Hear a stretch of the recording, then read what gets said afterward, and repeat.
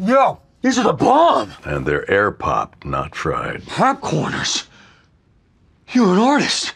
Actually, Jesse, it's just basic ingredients. No, we don't eat our own supply.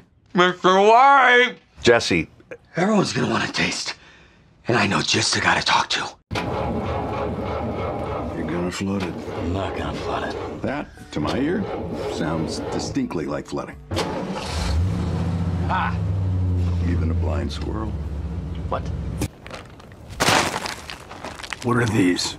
We call them popcorners. Say their name. Popcorners!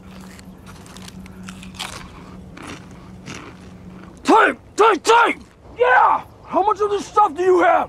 We've got six signature flavors, Joe. Seven! You make seven! Seven. Seven works.